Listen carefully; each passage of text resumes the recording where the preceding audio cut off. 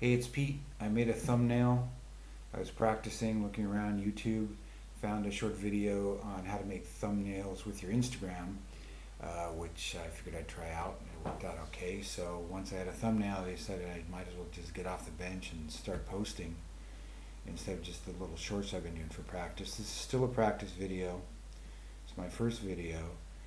And what I'm reading is uh, this on my e-reader. That's a screenshot because the actual cover is so bland. I'll show it to you. Where is it? Look, that's what they put on the actual ebook. How exciting.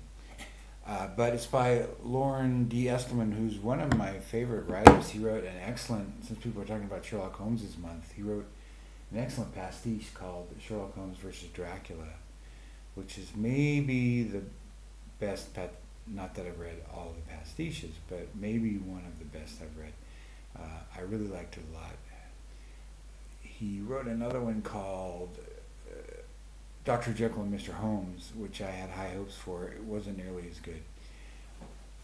But uh, this is Frames is the first uh, book in his series about Valentino, who is a film archivist who works for the UCLA uh, Film Society, I think,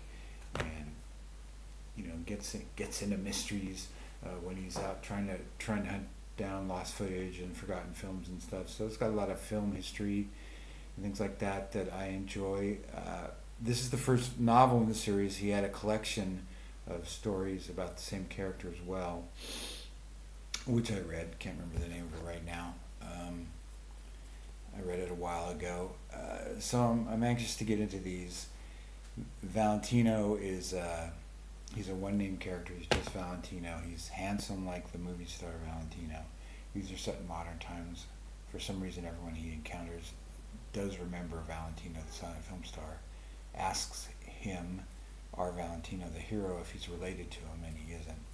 So he finds that a little interesting. So I'm getting into the series. There's like seven of them, I think, seven, six or seven. The third one I'm really looking forward to because it looks like it's related to James Whale's uh, Frankenstein film, the original Frankenstein film from 31, which is one of my favorites. So I want to read this series and see how it goes. Other than that, uh, I'm in Saranda. I was going to do this on the porch, on the patio out here, because I've never had a patio. Then a jackhammer started, so I moved inside.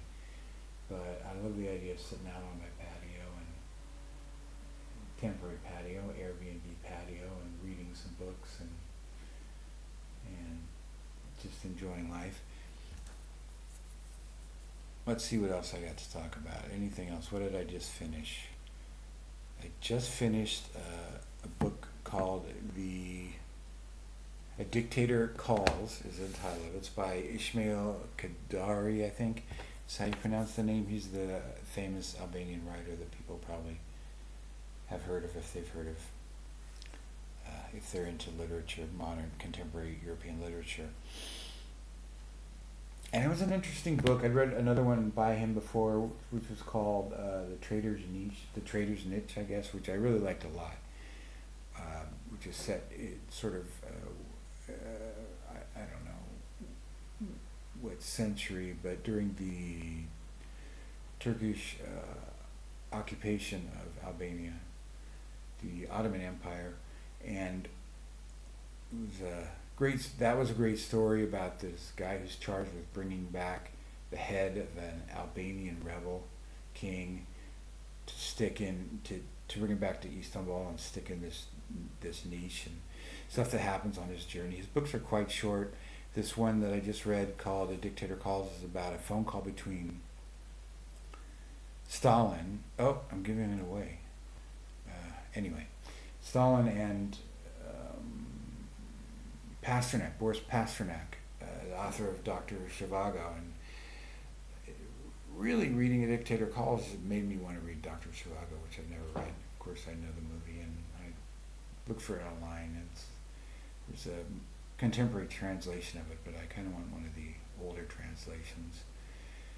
So I don't know. There was one other thing I wanted to cover. I guess I should have made notes. You know, live and learn this is my first video, I'll try and do a couple a week for a while before I do anything like a tag or anything to say what I want to talk about because I go through different phases with with what I'm reading. I like to read a lot of genre books. Obviously, I'm reading mysteries now and uh, SF, and and then other times I want to read a lot of uh, classics or pseudo classics, since I guess some people complain that other people's uh, definition of classics is not acceptable. I noticed that on one of my favorite channels, uh, Book Time with Elvis with Mark.